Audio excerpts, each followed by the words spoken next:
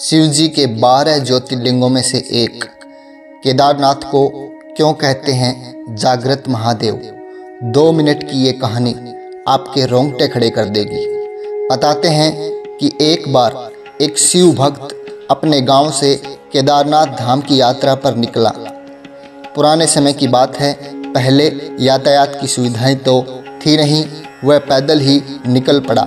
रास्ते में जो भी मिलता केदारनाथ का मार्ग पूछ लेता।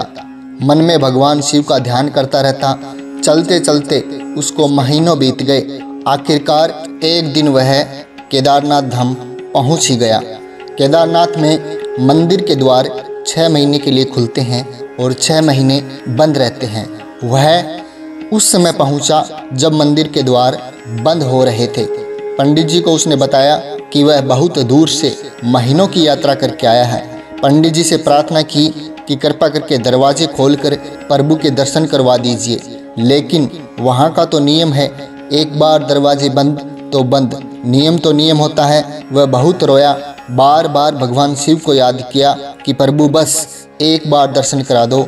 वह प्रार्थना कर रहा था सभी से, लेकिन किसी ने भी नहीं सुनी।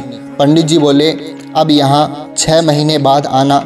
छः महीने बाद यहाँ के दरवाजे खुलेंगे। यहाँ छः महीने बर्फ़ और ठंड पड़ती है और सभी जन वहाँ से चले गए। वह वहीं पर रोता रहा। रोते रोते रात होने लगी। चारों तरफ़ अंधेरा हो गया। लेकिन उसे विश्वास था अपने शिव पर कि वो ज़रूर कृपा करेंगे। रात में ठंड से वह काँप रहा था और उसे बहुत भूख और प्यास भी लग रही थी। तभी अचानक उसने किसी की आने की आहट सुनी और देखा तो एक सन्यासी बाबा उसकी ओर आ रहा है। वह सन्यासी बाबा उसके पास आया और उसके पास बैठ गया। पूछा, बेटा, कहाँ से आए हो? उसने सारा हाल सुना दिया और बोला, मेरा आना यहाँ पर व्यर्थ हो गया है बाबा जी बाबा जी ने उसे समझाया और खाना भी दिया और फिर बहुत देर तक बाबा उससे बातें करते रहे। बाबा जी को उस पर दया आ गई और वह बोले, बेटा, मुझे लगता है सुबह मंदिर ज़रूर खुलेगा। तुम दर्शन ज़रूर करोगे।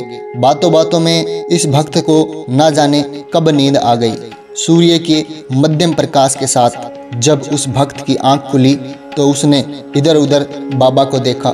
किंतु वह कहीं नहीं थे।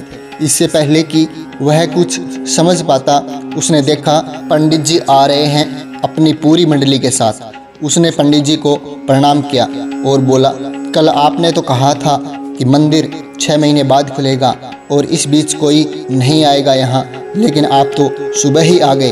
पंडित जी ने उसे गौर से देखा और पहचानने की कोशिश की और पूछा, तुम वही हो जो मंदिर का द्वार बंद होने पर आए थे, जो मुझे मिले थे छः महीने होते ही वापस आ गए? उस आदमी ने आश्चर्य से कहा, नहीं, मैं कहीं नहीं गया। कल ही तो आप मिले थे। रात में मैं यहीं सो गया था। मैं कहीं नहीं गया। पंडित जी के आश्चर्य का ठिकाना नहीं था। उन्होंने कहा, लेकिन मैं तो छः महीने पहले मंदिर बंद करके गया था और आज छः महीने बाद वापस आया हूँ। तुम छः महीने तक यहाँ पर ज़िंदा कैसे रह सकते हो? पंडित जी और सारी मंडली हैरान थी। इतनी सर्दी में एक अकेला व्यक्ति कैसे छः महीने तक ज़िंदा रह सकता है?